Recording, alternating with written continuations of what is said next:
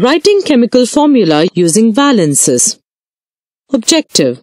To learn how to write the chemical formulas of compounds using valences. A chemical formula is the symbolic expression of a compound. Formulas denote the actual number of atoms present within a compound. The chemical formula may be used in chemical equations as a representation of chemical reactions. The valence of an atom is the number indicating the electrons in an atom that take part in chemical bonding. The rules of valence Atoms of group 1a have valences of plus 1.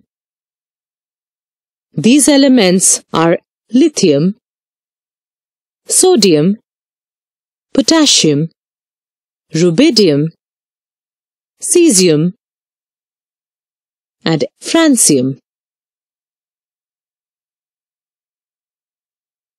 Atoms of groups 2A have valences of plus 2.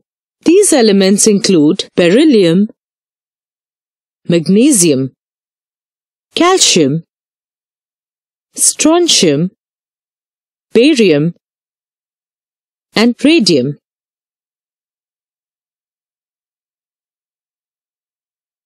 Oxygen has a valence of minus 2. Fluorine has a valence of minus 1. Hydrogen has only one electron, so it can have a valence of plus 1 or minus 1. Radicals are groups of atoms that frequently appear in compounds. They have a valence associated with the particular radical. Let's walk through the procedure for writing chemical formulas using sodium fluoride as an example. First, determine the valence of each chemical in the compound. Sodium is a member of group 1A, therefore the valence is plus 1. Fluorine has a valence of minus 1. The next step is to write the cation, the positively charged atom, on the left and the anion, the negatively charged atom, on the right. The formula is written by crisscrossing the valences and making them subscripts.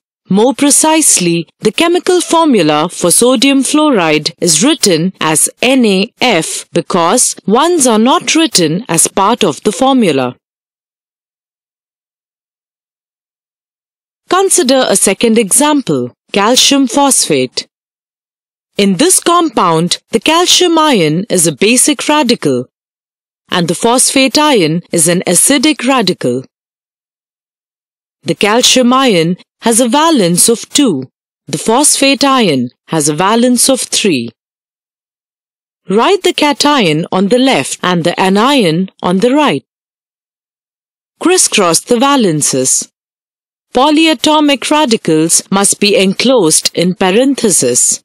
The phosphate ion is a polyatomic radical, meaning it must be enclosed in a parenthesis with the subscript written outside. The final formula of calcium phosphate is written as Ca3PO4 Summary Writing the chemical formula of compounds on the basis of the valences involves identifying the anions and cations.